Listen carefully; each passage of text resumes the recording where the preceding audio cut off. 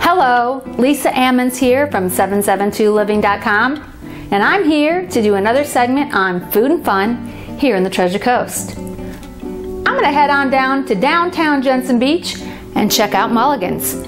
I hear they've been up to some renovations. Downtown Jensen, located right along the waterfront. I love the area, especially the people.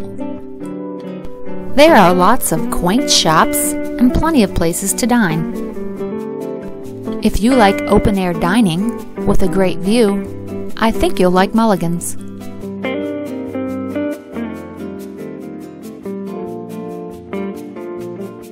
Upstairs dining or downstairs dining?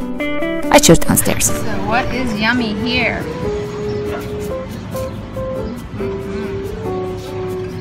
Decisions, decisions. trying to low carb it. So, salad it is. I'm, I'm gonna do the um, the grilled uh, Caesar salad. Okay. Minus the croutons. Okay, so if you sit here and have lunch, you know, you're right across the street from the water, and this is your view. It's pretty darn nice out there today. Mulligan's is located right along the water's edge, directly across from Sundance Marina. Okay, my meal has arrived, and it really looks great, particularly that bread that I'm not going to eat. I'm gonna dive in and I'll let you know how it is.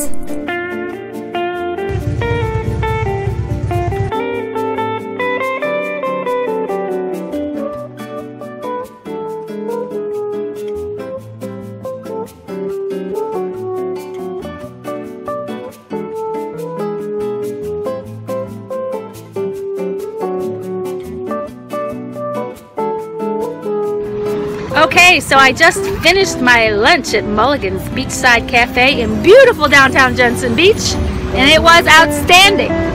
Thumbs up on the lunch. Loved it. I love being here. The only problem is it's about 12:30 and I must go back to work. So, come check it out. You'll love it.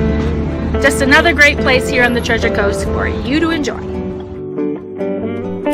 I'm Lisa Ammons. Thank you for stopping by.